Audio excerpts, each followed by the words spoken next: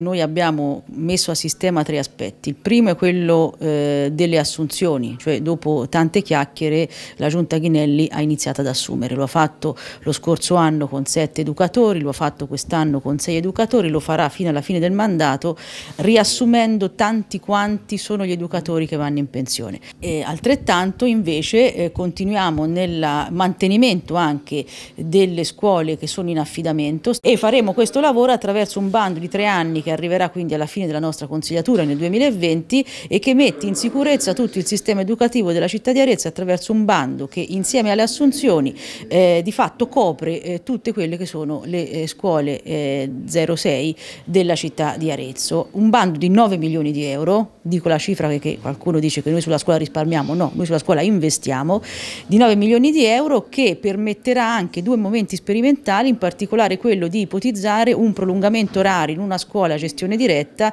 per arrivare ad avere la possibilità per alcune famiglie che hanno lavori atipici di poter tenere i loro bambini nelle scuole sia nel nido che nella materna. Faremo una sperimentazione e vediamo come funziona.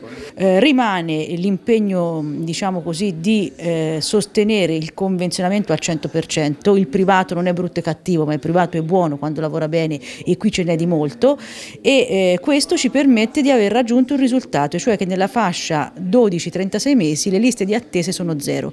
E questo mi permette di dire, anzi abbiamo due posti vuoti. E questo mi permette di dire che la polemica politica fatta sulla chiusura del cedro, se oggi si dimostra quella che era, cioè miope strumentale. Se oggi avessimo ancora il cedro aperto avremmo 48 posti vuoti nel sistema educativo della città di Arezzo. Se questo è gestire bene le risorse credo che eh, non ci sia molto da imparare da chi ce lo suggerisce. Il convenzionamento, le assunzioni, il bando permettono a questa città di avere un orizzonte temporale lungo di una offerta formativa efficiente il cui patto formativo abbiamo stabilito con le famiglie e la cui soddisfazione delle famiglie oggi oscilla intorno all'85%.